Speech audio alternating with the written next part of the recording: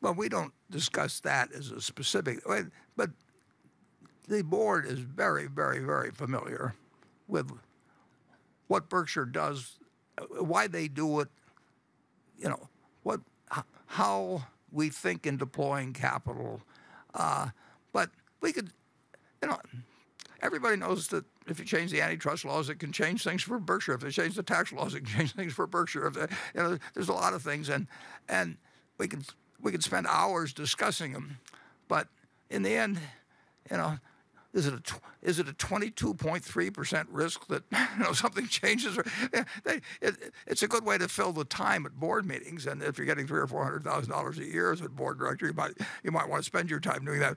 But we really don't focus on that. Uh, uh, the main thing about Berkshire is how do you preserve the culture? How do you make sure that if you get the wrong person as the CEO, you can do something about it? That's the biggest risk a board has is if you pick the wrong CEO. And I've been on 20 boards and it's happened more than once.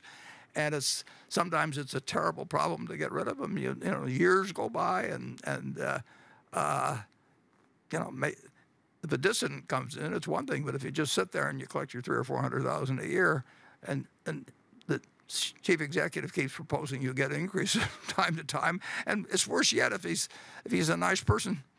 Uh, you know, doing his best. and, yeah, it, it's, uh, but we're, we're not going to spend a lot of time. We may do it on a personal basis, but we're not going to take a lot of people. And we want them to know more about what's going on with BNSF and how Katie's doing and whether the, whether the KCS thing can injure us in any material way and so on. And we really don't, except maybe on a private side thing, we, we don't, we don't start talking about you know what, what the effects will be in 2050 if this projection or that projection is met. Charlie, uh, nothing to add. Mm -hmm.